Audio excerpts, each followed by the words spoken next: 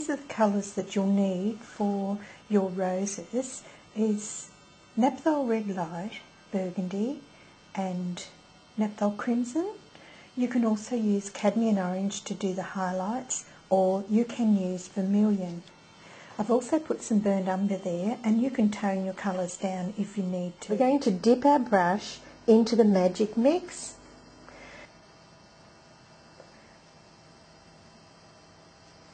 and in around there where the roses will be for the saucer. Now there's two ways of doing this here. You can leave a white, a lighter gap, some of the background showing through, or you could put a little bit of a dark line there just to say where the saucer shape will be. So you can, you've got two options there. Just put a bit more onto that one. Make sure the coverage is enough if you use too much of the magic mix, you will get more transparent look. Add the, the petals to the background section in just little short choppy strokes. Blend on your palette.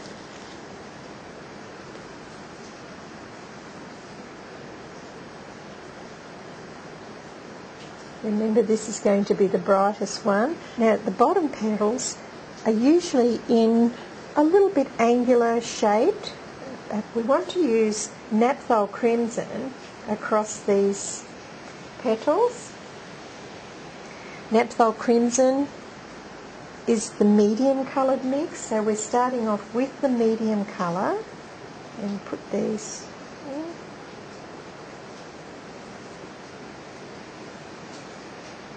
Sometimes we can change the angles of these, these later, so just get some little V shapes into there. Use the burgundy for the dark to make a line to say that that's dark going underneath there on that petal. And there.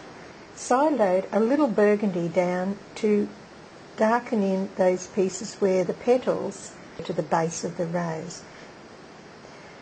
Now on the outside edges of the petals, I want you to pick up naphthol red and I want you to brighten these outside of these petals here with the naphthol red. The we will be brightening them up a little bit more a little later.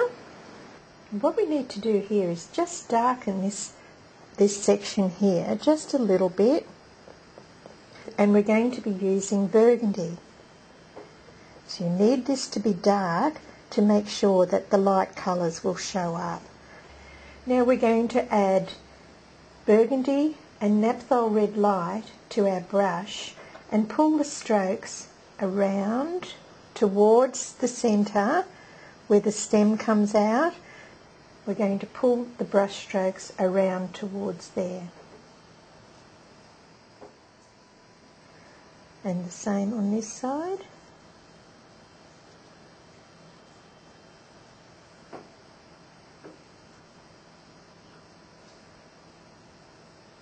And when you pull the ones from this side, make sure that they go in between the other ones. And you can come out over the top of that petal with this bottom one. Now that was easy, wasn't it? Now the part that we need to do now is to